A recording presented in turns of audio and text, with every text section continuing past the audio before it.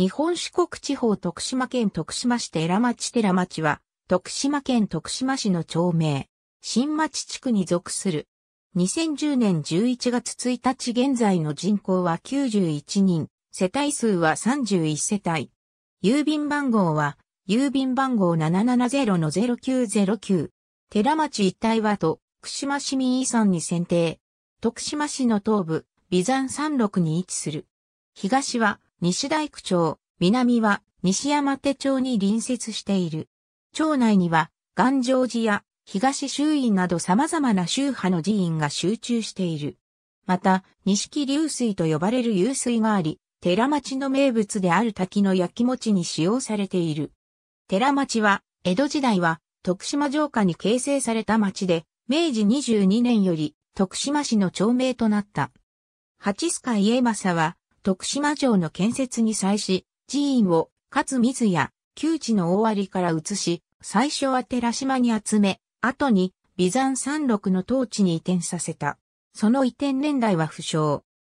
勝自ら移された寺院は、徳川家の暗い石踏みを安置する、浄土宗の帰り国寺、上智寺、真言宗の寺明院、源の久し寺、東宗院、日蓮宗の本行寺、寿良寺、明栄寺、全学寺、妙天寺、本学寺、妙長寺、浄土宗の寺泉寺、円徳寺、朝鮮寺などのほか、春日寺、真言宗の来福寺、全福寺、岩城寺、般若院、浄土真宗の東光寺、元勝寺、日蓮宗、正宗の境内寺があり、寺院が集中している。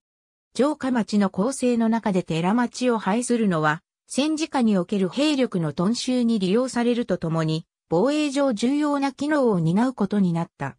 また、韓国寺や寺明院が八須掛家と特殊な関係を持ち、その他の寺院も藩士や城下の町人の旦那寺として極めて重要な役割を担っていた。